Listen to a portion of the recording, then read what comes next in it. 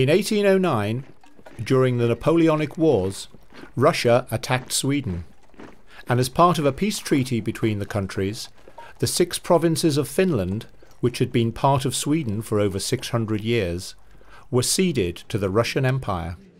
The settlements made during the war were ceremoniously ratified at a session of the Porvoo Diet on March 28, 1809.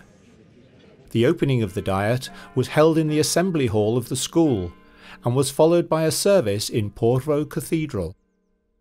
In his inaugural address, Emperor Alexander I stated that this meeting of the four estates would mark the beginning of Finland's existence as a state and confirm the constitution established under Swedish rule. Finland's autonomy was reinforced by the appointment of a state secretary who presented all matters specific to the administration of Finland directly to the emperor in St. Petersburg.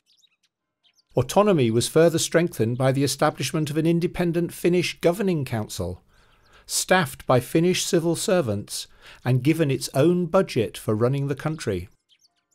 In this way, the emperor had the ultimate say over Finnish affairs, and yet, in contrast to the rest of the Russian Empire, the Grand Duchy of Finland was now firmly established as a separate entity with its own administration, a polity over which the Russian ministers had no jurisdiction.